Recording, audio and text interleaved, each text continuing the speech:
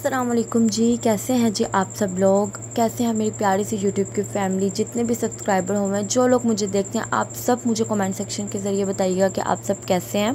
ठीक है, आज से मैं हो गई हूँ बैक टू रूटीन ठीक है, मैंने सोचा मैं आप लोगों के साथ अच्छी अच्छी ज़बरदस्त सी रेसिपीज़ शेयर करती हूँ। यहाँ पर जी मैंने स्टार्ट किया था आज के व्लॉग नाश्ते से। अपने लिए मैं स्ट्रॉन्ग सी चाय बना रही थी और यहाँ पर मैं बच्चों के लिए बना रही थी टोस्ट ठीक है, चाय भी बन गई और टोस्ट भी बन गए। मैं क्या करती हूँ, पहले बच्चों को अच्छे से ब्रेकफास्ट देती हूँ, फिर बाद में खुद अच्छे से, आराम से सुकून से बैठ के चाय पीती हूँ। और बच्चों को मैंने टोस्ट दे दिए, फिर जाकर और फिर मैंने अपने लिए चाय निकाली और अपने लिए भी टोस्ट गर्म किया और फिर मैं आराम, सुकून से बैठ के करूँगी ब्रेकफास्ट अच्छा आज के ब्लॉग में मैं आप लोगों के साथ मटन कोफ्ते की रेसिपी शेयर करूँगी, जिससे आपके जो कोफ्ते हैं बिल्कुल भी टूटेंगे नहीं। और मैं कहती हूँ, इतने जूसी इतने अच्छे टेंडर बनते हैं ना कोफ्ते, ज़रूर रेसिपी ना मेरी ट्राई कीजिएगा। ठीक है, नाश्ते के बाद मैंने सबसे पहला जो काम किया ना, कोफ्ता बनाने का किया, क्योंकि उसको ना थोड़ा सा सेट होने के लिए हम लोगों को फ्रीज़र में रखना पड़ता है। इसीलिए आप लोग हमेशा उसको मॉर्निंग में ही बना के रखें, ठीक है? ग्रेवी जो सालन है, वो तो हम कभी भी बना सकते हैं। अब मैंने क्या किया फ्लेम ऑन किया। अब एक तवा लिया, उसमें सूखा धनिया एक टेबल स्पून के करीब ऐड किया और ज़ीरा ऐड करना है साबुत, ठीक है? इन दोनों मसालों को मैंने अच्छे से ना साफ़ किया हुआ है मतलब कि मट्टी वगैरह जितने भी वो होते हैं ना छोटे छोटे से ज़रात वो निकाले अब मैं इनको रोस्ट कर रही हूँ और मैंने छः से आठ ली हैं काली मिर्चें। इनको भी रोस्ट करूँगी और अच्छे से इसका बनाऊँगी मसाला, ठीक है? आप लोग इसको जो कुंडी डंडा होता है ना, उसमें भी कर सकते हैं, ठीक है? अगर आप लोग उसमें नहीं कर सकते हैंड्स के साथ। तो आप लोग इसको जो मसाला पीसने वाली मशीन है, उसमें अच्छे से पीसें। आप लोग ये मसाला इसमें ऐड करें। मैं कहती हूँ इतनी कोई अच्छी खुशबू आती है सारे किचन से आप लोग ज़रूर ट्राई कीजिएगा। यहाँ पर जी मैं जो मसाला है ना, उसको करने लगी हूँ। अब पीसने लगी हूँ, इतना बरीक नहीं करना, इसको हल्का सा मोटा मोटा सा रखना है, ठीक है? और आज से मैं बैक टू रूटीन हूँ। आज है जी ईद का फोर्थ डे संडे है तो लाइक और शेयर कीजिएगा। और यहाँ पर मैं आप लोगों को बता दूँ कि मैं कच्चे चावल खा रही थी। मुझे ना थोड़ी सी ना आदत है राइस कच्चे खाने की, काम करने के साथ साथ थोड़े थोड़े कोई इतनी पक्की आदत नहीं है, लेकिन जब चाय ले लेती हूँ, जब मतलब कि दिल कर रहा है फ्रेश हूँ मुतमिन हूँ खुश हूँ। तो इस तरह से मैं अकेली काम में लगी रहती हूँ इंजॉय करती रहती हूँ। मैं कभी भी अपने किचन के काम को, अपने बच्चों के काम को अपने सर पर सवार नहीं करती हैक्टिक नहीं होती। और यहाँ पर आते हैं बैक टू रेसिपी अच्छा दो टेबल स्पून लिए हैं बेसन। ठीक है जी, इसको भी मैंने रोस्ट करना है। अगर हम लोग कच्चा ऐड करेंगे ना हल्की हल्की सी ना, हमक सी वो जो बेसन की होती है ना, वो आती है तो इसको मैंने हल्का फ्लेम करके ना अच्छा सा इसको ना वो किया भुना है। जब तक इसके खुशबू नहीं आने लगी और हल्का सा कलर चेंज नहीं होने लगा, मैंने इसको अच्छे से पकाया, कुक किया आप लोगों ने लो फ्लेम करना है, ठीक है? अब ये देखिए, जो मैंने करके रख लिया था, जितना कीमा है ना, उसके अकॉर्डिंगली हम लोगों ने ये लिया वो मसाला, जितना आप लोगों का कीमा, उसके अकॉर्डिंगली आप लोग मसाला ऐड कर सकते हैं। और जो कुर्बानी का गोश्त होता है ना तो उसमें हम लोगों को स्पाइसेस थोड़े से कम रखने चाहिए। मैंने टी मैंने बहुत लाइट से स्पाइसेस रखे हैं, ठीक है? टी नमक और रेड चिली पाउडर ये देखें जी नमक थोड़ा सा पूरा होना चाहिए और वन एग ये मेरे से टूट नहीं रहा था और फिर मैंने कैमरे को साइड पे रखा, मोबाइल को और फिर एग तोड़ के इसमें ऐड किया। और स्पाइसेस जो है ना, मिर्चों में मैंने इतने ज़्यादा नहीं रखे। इसमें कोफ्तों में कि बच्चे सी सी करें, हमेशा इस तरह रखें कि हर कोई पेट भर के खाना भी खा ले और इतने ज़्यादा मतलब कि लगे भी ना फीका फीका खाना है। और ये मैंने घी ऐड किया था कुकिंग ऑयल। इससे बहुत अच्छा टेस्ट आता है। इसको अच्छे से इसको मिक्स करूँगी। बहुत अच्छी बाइंडिंग हो जाती है। यहाँ पर आपको एक टिप देती हूँ कि आप लोग जो ब्रेड क्रम्स होते हैं ना, उसके दो टीस्पून या एक टेबल स्पून भी ऐड करें। मैं कहती हूँ, आप लोगों के कोफ्ते टूटेंगे तो चलो एक साइड पे है ना, लेकिन उसका टेस्ट और वो इतने अच्छे जूसी बनते हैं ना, बहुत बहुत ज़्यादा। बहरहाल, आज हमने तो बहुत इन्जॉय किया।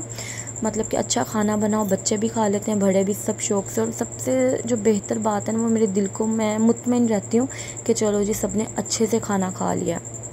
अगर आप लोग दाल भी बनाए ना, अगर वो भी हम लोग दिल से बनाएँ तो वो भी बहुत अच्छा बनता है।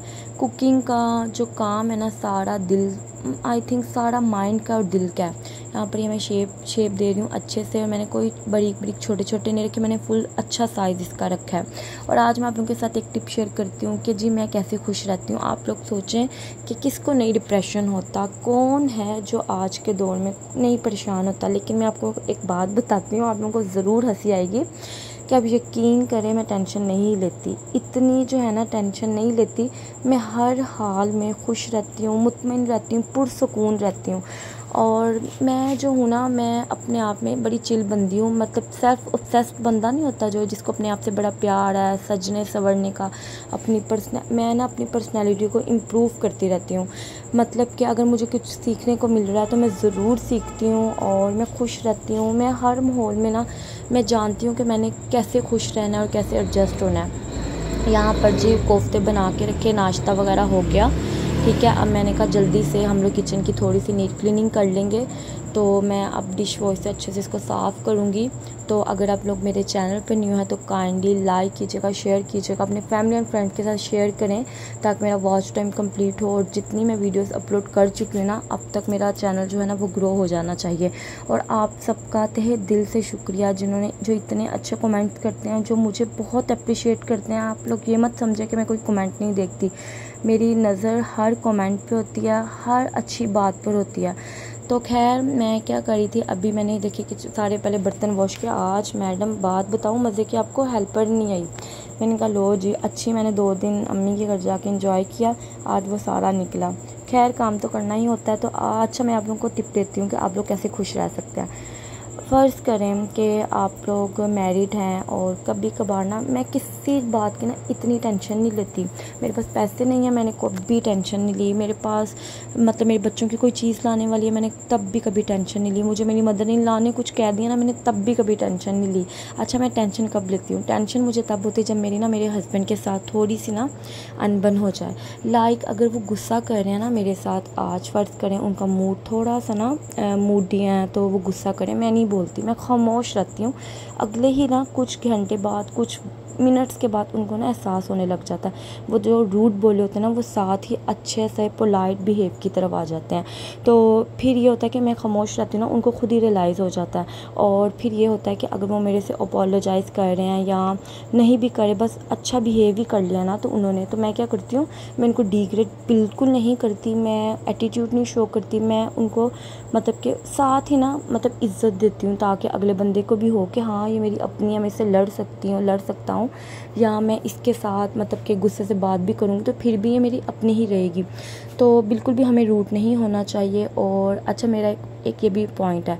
मैं क्या करती हूँ कि जितना भी कोई मुझसे नाराज़ हो या मैं किसी से मुझे जितना भी गुस्सा है मैं उसको खाने का ज़रूर पूछती हूँ। जैसा कि लाइक मेरे हस्बैंड के साथ जितनी मर्ज़ी लड़ाई है लेकिन मैंने उनको टाइम पे पूछना खाना खा लें या खाना दे दूँ मतलब मैं कहती हूँ कि लड़ाई अपनी जगह, खाना तो खाओ ना। तो अगले के बंदे में हम, अगले के दिल पे ना हम लोग घर कर जाते हैं। तो बस यही बात है कि मैं खुश रहती हूँ और I think so I think so माँ बाप के बाद एक ऐसा रिश्ता सिर्फ़ हस्बैंड एंड वाइफ का है। मियाँ बीवी का बहुत अच्छा रिश्ता है, बहुत। अल्लाह ताला हम सबको हमेशा खुश और आबाद रखे। मैं कहती हूँ, अगर अल्लाह ताला ने बेटी दी और बेटी है ना कहीं तो उसका नसीब बहुत अच्छा होना चाहिए। और बेटियों को बहुत सब्र की ज़रूरत होती है, हर हाल में खुश रहने की ज़रूरत होती है। खैर, बहुत ज़्यादा मैंने आप लोगों को अच्छी अच्छी टिप दे दी। तो खैर, यहाँ पर मैं ना, मैंने किचन नीट एंड क्लीन किया, कोफ्ते बना के फ्रीज़र किए। तो उसके बाद बाबा के लिए रोटी बना रही थी। अभी सालन बनानी था तो वो मुझे कहते मुझे हाफ़ फ्राई कर दो और हल्का सा चपाती बना दो मतलब कि सूखी रोटी। तो वो मैंने की, उनको बना के दिया। और साथ साथ मैंने दो तीन दिन हो गए थे क्लीनिंग नहीं की, फिर मैंने ड्रॉर्स पे अच्छा सा जो है ना, कपड़ा फेरा ड्राई सेमी ड्राई और ये देखें, जब मैं रोटी बेल रही हूँ, बड़ी बड़ी करने की कोशिश कर रही हूँ। और आप लोग बताइएगा, आप लोगों ने ईद कैसे गुजारी? मैंने फ़र्स्ट डे अपने घर में गुजारी, जो सेकेंड और थर्ड डे अपनी मामा के घर गई थी। वहाँ पर मेरी सिस्टर मेरे बहन भाई वहाँ गुजारी, बच्चे भी काफ़ी इंजॉय कर लेते हैं क्योंकि जो मेरी सिस्टर वो काफ़ी ना शरारती है। हाँ हाँ ही ही करती है और मेरी जो बेटी है वो भी काफ़ी शुगर लगाती है। खैर, हंस, खेल लेते हैं फिर। फिर वही बैक टू रूटीन और वैसे आज मैं आप लोगों के साथ एक बात शेयर करती हूँ कि आज मैंने ना आप लोगों के साथ मेकअप ट्यूटोरियल शेयर करना था। लेकिन मैंने इसलिए नहीं किया कि मे भी किसी को इतना इंटरेस्ट हो या ना हो तो मैंने नहीं किया। मैंने करना था अपने स्टाइल में, जैसा मैं खुद मेकअप करती हूँ, जैसा मुझे पसंद है। तो फिर मैंने सोचा कि मे भी उसके व्यूज़ आए ना, या किसी को पसंद ना आए। तो इसलिए मैंने फिर नहीं किया, फिर मैंने बैक टू रूटीन ही आज रिकॉर्ड किया और वही आप लोगों के साथ अभी शेयर कर रही हूँ। ठीक है, ये देखें। और मैंने ना घी डाला ना, घी डालने के बाद मैंने थोड़ा सा आटा जो ना, एक चुटकी फेंका, उससे जो आपका अंडा वो बिल्कुल नीचे नहीं लगता अगर आप लोगों के पास नॉन स्टिक पैन नहीं है तो। नॉन स्टिक में तो ये इशू होता ही नहीं है और मैंने इतना मतलब कि मैं डाल देती हूँ ना आटा, फिर वो फिसलने लग जाता है अंडा। चलें जी, और क्या करें आप सब लोग? आप लोग भी हमेशा खुश रखें, खुश रहें, अपने जो इर्द गिर्द उनको खुश रखें। कुछ बातें, कुछ चीज़ें बर्दाश्त कर लेनी चाहिए और मैं कहती हूँ कि हम लोगों को ना एक बात हमेशा याद रखनी चाहिए कि हम लोगों को ना कभी किसी को शर्मिंदा नहीं करना चाहिए। अगर आप लोगों को किसी का, किसी के अबाउट नेगेटिव पॉइंट पता है ना, आप लोग कभी उस बंदी या बंदे को शर्मिंदा ना करो, कभी मत पूछो। खैर, अब मैंने लिया है, अब मैं ग्रेवी बनाने की तरफ़ आई हूँ। अगेन किचन में आई, मैंने कहा, चलो, अब खाना बनाते हैं। टमाटर लिए हैं मैंने, और दो प्याज लिए मीडियम साइज़ के। पहले मैंने गरम मसाला ऐड किया, जिसमें मैंने इलायची ऐड की है, लौंग और ज़ीरा। उसको अच्छे से जलाना नहीं है जस्ट कुरकुराना है, और अच्छा सा मसाला ग्रेवी तैयार करनी है। जितना शोरबे वाली चीज़ का मसाला भुना हुआ होगा, उतना आपका सालन बेहतरीन और अच्छा बनेगा। ठीक है, दो हरी मिर्चें मैं हमेशा शोरबे वाली चीज़ में मतलब कि ग्रेवी वाली चीज़ में ऐड करती हूँ।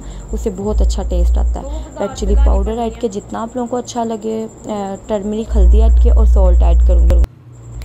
ये देखें जी मसाले की अच्छे से मैं भुनाई करूँगी। ज़बरदस्ती अब मैंने नमक ऐड किया। नमक हमेशा खाने में पूरा होना चाहिए। पहले कम ऐड करें, बाद में देखें, ज़्यादा तो नहीं होगा, फिर थोड़ा सा और ऐड कर सकते हैं आप लोग। ठीक हो गया जी? और बहुत अच्छी अच्छी रेसिपीज़ है मेरे पास, मैं वो शेयर करूँगी। यहाँ पर ये देखें, इस मशीन को मैंने सिर्फ़ दो दिन हो गए हाथ नहीं लगाया तो काफ़ी गंदी हो गई थी। फिर मैंने इसकी साइड्स नुक्कर साफ़ की। मैंने कहा, लगते हाथ में किचन में खड़े खड़े काफ़ी इस तरह के काम कर लेती हूँ। क्योंकि मुझे पता है कि मैं अकेली हूँ, मैंने खुद ही करना है, किसी चीज़ को गंदा होने नहीं देना। घर माशाला से मेरा भी साफ़ है, वो फैंस भी साफ़ हैं डोर्स भी साफ़ हैं, जाले वगैरह भी उतरे हुए हैं तो फ्रिज भी मैंने साफ़ किया, अभी तो वीक भी नहीं हुआ। तो खैर साथ साथ नॉर्मल रूटीन के काम जो है ना वो ज़रूर चलते हैं। और as a housewife as a mom responsibilities हम लोग यही करते हैं। जितना मर्ज़ी हम लोग बाहर घूमें जितना मर्ज़ी हम लोग किसी के घर हुए आना हम लोगों ने घर ही आके अपनी ड्यूटी संभालनी है। तो जितनी जल्दी हम गर्ल्स ये बात समझ लें, उतना हमारा ही फ़ायदा है। खैर, मैं ये नहीं कहती कि आप लोग कहीं जाएँ ना, आप लोग हमेशा किचन में घुसे रहें, नहीं। हर चीज़ को बैलेंस लेकर चलें तो मैं कहती हूँ अपना दिल मुतमिन रहता है। ये देखें जी, मसाला बन गया। कोफ्ते इतने अच्छे फ्रीज़ हुए थे, बहुत अच्छे। तो अभी मैं इस व्लॉग में आप लोगों को मेरी बेटी का जो रिकॉर्ड है ना, वो भी करूँगी। क्योंकि जो बेटा है ना मेरा ताहा, वो थोड़ा सा शाय है, वो बोलता नहीं। जो फ़िज़ा है, माशाल्लाह से मेरी तरफ़ फुल कॉन्फिडेंट है। तो वो बोलती है तो इसलिए मैं उसका रिकॉर्ड कर लेती हूँ। जो ताहा है ना, वो फिर कहना, मम्मा क्या, मम्मा ये। फिर मैं उसको इतना नहीं लाती, क्योंकि उसको अभी इतना सेंस नहीं है। खैर, ये देखें जी। और मेरे, मेरी जो बेटी है वो मेरी तरह फुल कॉन्फिडेंट है, मैं, माशाल्लाह।